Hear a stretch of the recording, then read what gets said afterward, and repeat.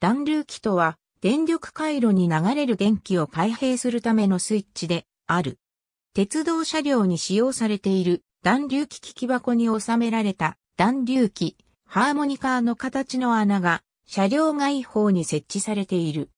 主回路の元の電流開閉や主回路各部の比較的。大きな電流の開閉動作を行うためのスイッチであり、電車の運転中に主回路の電流を開閉を行うため、動作頻度が高く、耐久性と高い信頼性が要求される。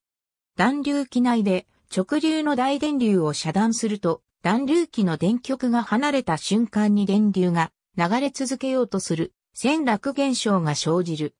確実に電流を遮断するため、暖流機はアークを短時間に消滅させる装置を組み込んでいる。一つは、電極の近くにコイルを置き、遮断時にコイルに電流を流して磁界を発生させ、フレミング左手の法則でアークを吹き消させる磁気吹き小方式であり、もう一つは大電流を一度に遮断せずに一旦抵抗器を回路に直列に挿入し、電流をある程度少なくしてから遮断を行う、源流遮断方式である。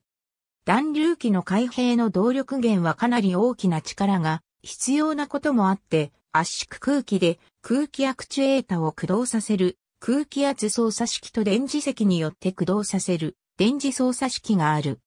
装置は電車の床下の機器箱に設置されているが、動作時にアークが発生するので、箱には不燃性の絶縁物で構成されたハーモニカのような穴が車両外方に設置されている。